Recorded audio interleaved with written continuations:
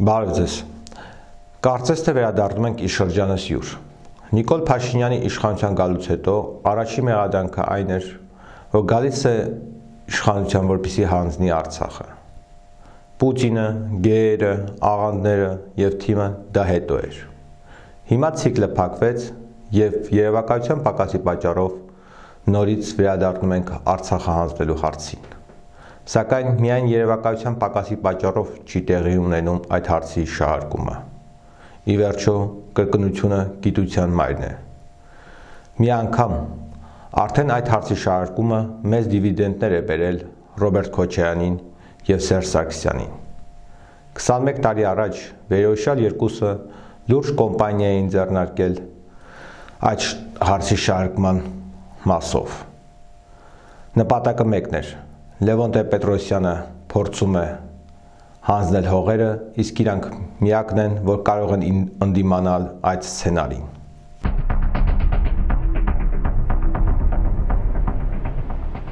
Այդ հետո էր, որ պարզվեց։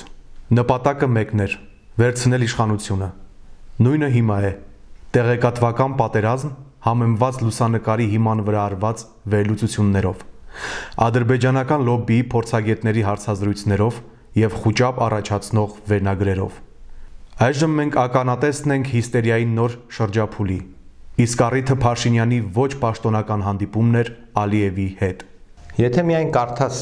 նախկին իշխանություններին պատկանող լրատվամիջոցների վերնագրերը, ապա կասկած չի առաջանա։ Հենց Դավոսում Փաշինյանը Արցախը նվիրեց Ալիևին։ Իսկ պաշտոնական նվիրատվությունը կկայանա կամ մարտին, կամ հունիսին։ Ամսաթվի նշումը կախված է, թե որքան են վճարել լոբիստին, որքան շատ, անքան ավելի շուտ կկայանա նվիրատվությունը։ Ինֆորմացիան փորձում են այնպես հрамցնել, կարծես առաջի անգամ են Հայաստանի եւ Ադրբեջանի ղեկավարները հանդիպում ոչ ֆորմալ շրջանակներում։ Միջդեռ հրադադարից հետո այդպիսի հանդիպումների քանակը անցնում է 1 տասնյակից։ Նույնը վերաբերում է Մամեդյարով մնացականյան վերջին հանդիպման արդյունքում ընդունված մեմորանդումի մեջ մի ձևակերպմանը։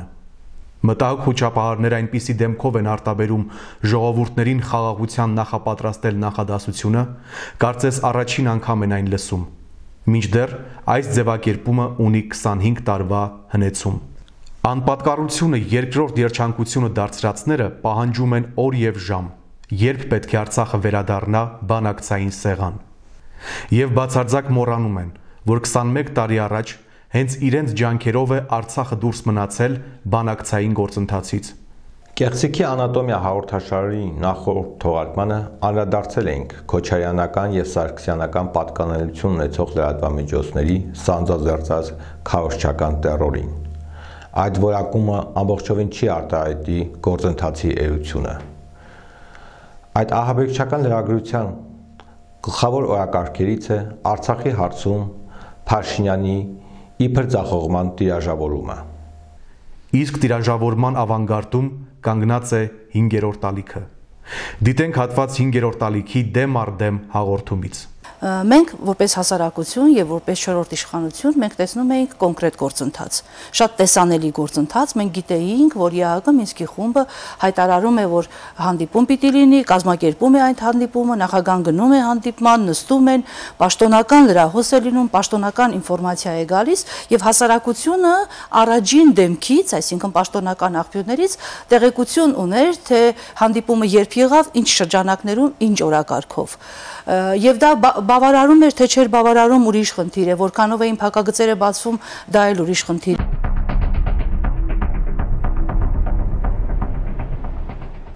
Ընդհանրապես պետք է նշել, որ Տիկին Եսայանը միայնակ չէ։ Տպավորություն է, որ իշխանությունից զրկվելը իր հետ բերել է նաև կողմնակի ազդեցություններ։ Դրանցից հիմնականը հիշողության կորուստն է, Նախկին падգամավորին թերևս չէր խանգարի հաճախ շաքարաջուր օգտագործել եւ հիշել, որ 2011 թվականին Կազանյան փաստաթղթի մանրամասների մասին հանրությունը իրազեկվեց միայն 2015-ին։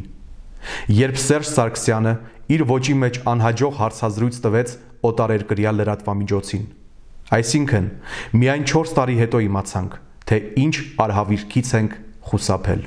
Հիշեցնենք, Սերժ Սարգսյանը խոստովանեց որ կազանում նա պատրաստ է եղել զիջելու ազատագրված տարածքները։ Մի քանի տասնամյակ հետո նախքին ԼՂԻ-մ տարածքում հանրակրվե անցկացնելու խոստման դիմաց։ Բացի դրանից, չգիտես ինչու բարձեցավ Ալիևին առաջարկ անելու վերաբերյալ, որ հանրակրվեն կարող է կայանալ ոչ թե 10 կամ 20, այլ 70 տարի հետո։ Եվ այդ ժամանակ մենք փրկվեցինք միմիայն մեկ պատճառով Ալիևները տասնամյակներ շարունակ իրենց անհերատես քաղաքականությամբ հասարակությանը պատրաստել են միանգամից ամբողջը վերցնելու երազանքից եւ նա այդ ժամանակ չէր կարող համաձայնվել բայց սա տիպիկ օրինակ է թե իշխանությունները ինչի շուրջ են բանակցե եւ ինչ աննորմալ զիջումների են պատրաստ եղել անցնենք առաջ եւ դիտենք եւս մեկ հատված հիստերիայի այդ դրսևորումներից Ցավոք սրտի ես պիտի հիմա հայտարարություն անեմ այն մասին, որ Արցախյան խնդրի կարգավորման թեմայի շուրջ նման հեղեղուկ դոնդողանման անհասկանալի վայրի վերո իրավիճակ երբևէ չի եղել։ Շարունակեմ միտքս, որովհետև Այսօր մենք պաշտոնապես աստիճանաբար քիչ-քիչ կարծես փորձում են մտնել այսպես ֆորմայի մեջ որոշակի պաշտոնյաներ, առաջին հերթին արտգործնախարարը եւ Ադրբեջանի արտգործնախարարի հետ արդեն 4-րդ կարծեմ հանդիպումն է տեղի ունենում, սա շատ լավ է որ մենք իմանում ենք պաշտոնապես, որ արտգործ նախարարը պաշտոնապես հանդիպեց Ադրբեջանի արտաքին գործերի նախարարին։ Բայց ինչ է կատարվում վարչապետ, Հայաստանի վարչապետ եւ Ադրբեջանի նախագահ հարաբերություններում։ Ինձ համար առնվազն անհասկանալի է, որ զինադատարի մեջ ոչ պատերազմ, ոչ խաղաղություն իրավիճակում գտնվող պետության վարչապետը կարող է պատահաբար ոտքի վրա վերելակում Դավոսի նման հսկայական ժողովում հանդիպել իմիջայլոց կամ պատահաբար եւ նախապես չպայմանավորված այդ բոլոր կասկածները, բոլոր մտահոգությունները, բոլոր անհանգստությունները գալիս են հենց դրանից, որ մեր ժողովրդի համար, մեր հասարակության, Արցախի Հայաստանի համար ճակատագրական հարցի քննարկում կամ այն պետության հետ, ում հետ մենք այսօր ռազմական վիճակում ենք գտնվում, ուզենք թե չուզենք պատերազմական կամ կիսապատերազմական վիճակում, այդ երկրի նախագահի հետ վերելակում հանկարծ հանդիպում են եւ իրար սիրաշահում։ Նախ նշենք, որ Փաշինյանը իր հայտնի լայվում նշեց, Նմանատիպ հանդիպումների առաջարկը եղել է ԵԱՀԿ Մինսկի խմբի համանախագահների կողմից։ Այն է, եթե երկու երկրների ղեկավարները գտնվում են միևնույն վայրում եւ եթե հնարավոր է կազմակերպել հանդիպում։ Այսինքն, համանախագահները հանկարծակի չեն եկել այդ հանդիպումից եւ մամուլից չեն տեղեկացել դրա մասին։ Առանց համանախագահների միջնորդության եւ մասնակցության հանդիպումներ Արցախի կոնֆլիկտը գիտի։ Բայց ի դժբախտություն Տիկին Եսայանի դրա մասնակիցը Փաշինյանը չի եղել։ Ռոբերտ Քոչարյանը իշխանությունը զավթելուց հետո նախ Արցախը հերացրեց բանակցային սեղանից, իսկ այնուհետև սկսեց տետատետ հանդիպումների շարք հայր Ալիևի հետ։ Նախիջևանի Սադարակ ավանում։ Եվ այդ հանդիպմանը ոչ մի միջնորդ չէր մասնակցում։ Սիրալիրություններ փոխանակելու մասով Թերևս շատ չի անցել եւ մարդկանց հիշողության մեջ դրոշմվել է թե ինչպես էր Սերժ Սարգսյանը ապրիլյան պատերազմից 1 ամիս անց Ալիևի դեմ նստած ժպտում։ Ցինիզմի որքան մեծ չափականակ է պետք ունենալ, որ սկզբից թալանել բանակը, ունենալ 120 զոհ եւ տարածքից կորուստ եւ այնուհետեւ նստել ու ժպտալ Ալիևին։ Էլ ավելի մեծ ցինիզմ է պետք ունենալ, որ արդարացնել այդ գործելավոճը։ Հաղորդումից տպավորությունը միանշանակ է։ Տիկին Եսայանը ունի ցինիզմի այդ չափականակը։ Դիմեցինք մեր համակարգացիներին։ Ինչպես են վերաբերվում այն լուրերին եւ մեղադրանքներին, թե նոր իշխանությունը ձախողել է Արցախի հարցի հայանպաստ լուծումը։ Ինչպես եք վերաբերվում այն լուրերին եւ մեղադրանքներին, թե նոր իշխանությունը ձախողել է Արցախի հարցի հայանպաստ լուծումը։ Շատ բաց զարմանում եմ այդ մարդկանց վրա, իմ կարծիքով կեղծ են Փաշինյանը չի կարող հայանպաստ գործողություններ չանել Ես հավատում եմ մեր նոր ղեկավարությանը եւ արյան գնով ձեռք բերածը ոնց մենք կարող ենք զիջել թշնամուն։ Հնարավոր բան չի։ Մեկ անգամ մեկ հավատացած եղեք, որ դա հնարավոր բան չի։ Ասեկոսներ են, չուզող մարդկանց ենթադրություններ են։ Արցախը չի տա։ Երբեք։ Բացառված է նոր իշխանությունը եկել է իշխանության ինչ նպատակով որովհետեւ հայ, հայկական հարցը լավ լուծի, Արցախի հարցը լավ լուծի, հայկական կողմը հստակ դիրքորոշում ունի Արցախի հարցում, որը հայանպաստ է։ Ես գտնում եմ, որ չի ձախողել, ժամանակա պետք։ Պետքա մտածել, պետքա սպասել, պետքա ժամանակ սպասել, գոնե մինչև 19 թվի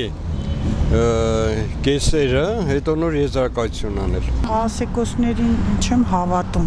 քան մեր 19-20 տարեկան երիտասարդներ այնքան զոհվեցին 93 թվականից էս կողմ որ հաշվեմ ոնց որ եթե հողերը հանձնեն դուրս կգա որ անիմաստ է այդ զոհերի արյունը զոհվել նման բան չեմ կարա հավատամ վստահում եմ Միմիկվա կառավարությանը անձամբ Փաշինյանին նման բան պետքա թույլ չտան։ Դա ռեալ չի։ Սխալ ինֆորմացիա։ Հայանպաստ քաղաքականությունա վարում նոր նախագահը, վարչապետը, ուրեմն եթե հայանպաստա, ուրեմն Ղարաբաղն էլ Հայաստան է։ Ես չեմ գտնում, որ տենց բան կանի Փաշինյանը։ Ես վստահում եմ իրան։ Տենց բան չկա։ Ամեն ինչ նորմալ կլինի։ Ինձ թվում է Փաշինյանը շատ խելոք աշխատում է։ Ամփոփենք։ Գախնիկ չէ, որ իշխանության կորցածները պատրաստ են ցանկացած արկածախնդրության եւ ստորության միայն թե խուսափեն պատասխանատվությունից։ Իսկ բարենպաստ պայմանների արկայության դեպքում վերադառնան նաեւ իշխանության։ Պետք է հստակ տարանջատել։ Այս օրին այնինչ անում է այսպես կոչված արտախորհրդանական ընդդիմությունը Արցախի շարքման մասով դա քննադատություն չէ։ Դա սխալների եւ բաստողումների մատնանշում չէ։ Դա սովորական 5-րդ շարասյան ձեռագիր է։ Միայն 5-րդ շարասյունը կարող է ասեկոսներ տարածել, թե բանակում կան անհանգստություններ քաղաքական իշխանության հնարավոր դավաճանության վերաբերյալ։ Հասարակությունը ունի այլ ելք, քան արժանի հակարված տալու 5-րդ շարասյանը։ Հաջողություն